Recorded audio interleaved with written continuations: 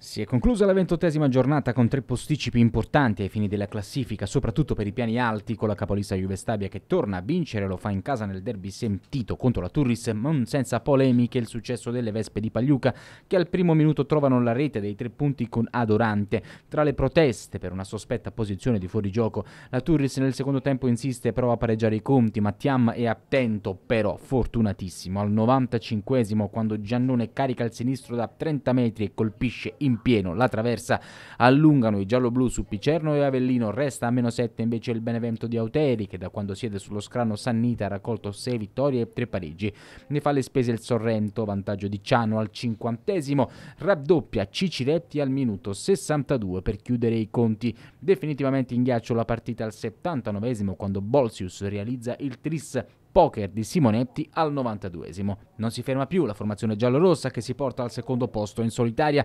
rimonta del Foggia che rende amarissimo l'esordio di Baldini sulla panchina del Crotone, allo Zaccheria i calabresi passano in vantaggio con Zanellato al 64esimo, ma è una reazione d'orgoglio quella dei Satanelli che prima all'88esimo pareggiano i conti con Silvestro, lo stesso Silvestro tre minuti più tardi realizza il gol del 2-1, il Foggia inguaia il Catania che scivola a ridosso della zona play-out, mentre per il Crotone continua il periodo nero.